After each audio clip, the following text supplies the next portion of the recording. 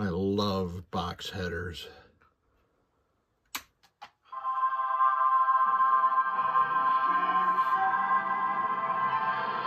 If you have been around pinball for any length of time, there's a couple of fellows that you probably know.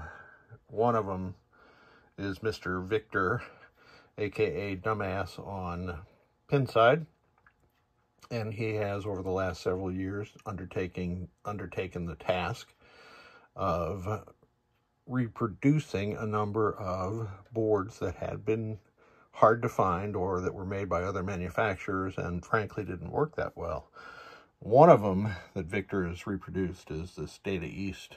This is a Rev 3 CPU and it will work with all Data East games from the very first Laser War all the way to the very last and probably including some Sega games that use this MPU board also. In fact, I, am positive of that because um, Sega Batman Forever uses this board.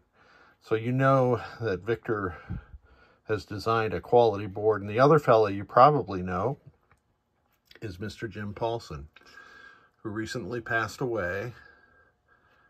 He was the best pinball tech that I knew east of the Mississippi River, I'll say. He'd be happy and he'd be laughing if he heard me say that. But I am selling this board on behalf of Jim's wife. This is a board that Jim fully assembled.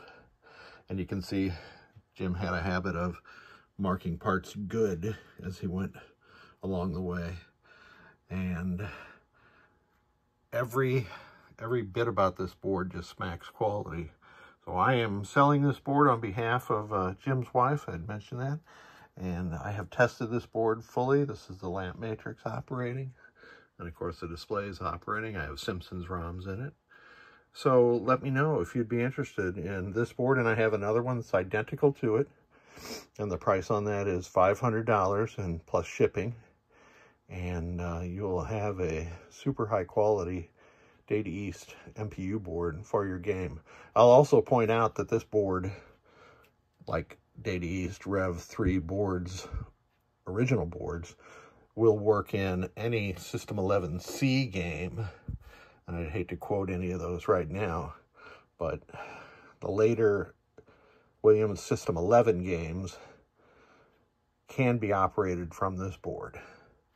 Thank you so much for watching. I hope that you have need for one of these and can help uh, take care of some of Jim's estate.